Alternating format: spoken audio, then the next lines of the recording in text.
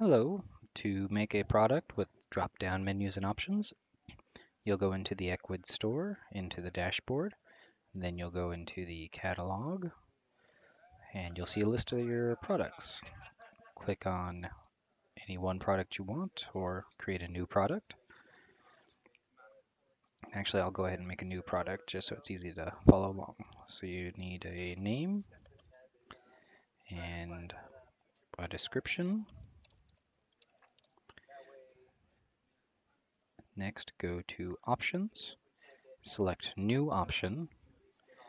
The title will be what the user is seeing at the top of the drop-down box. So let's say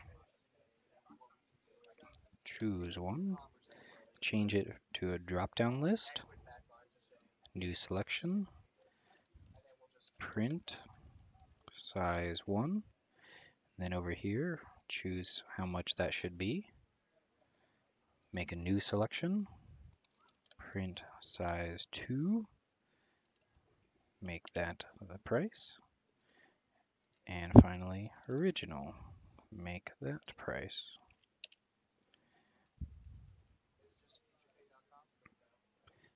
Another thing you'll want to do is go to gallery. And if you want to upload images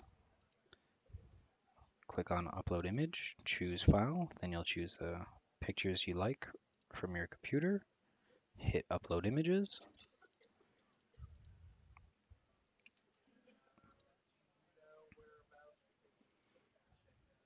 and also forget to, or don't forget to put a add image button over on the main property.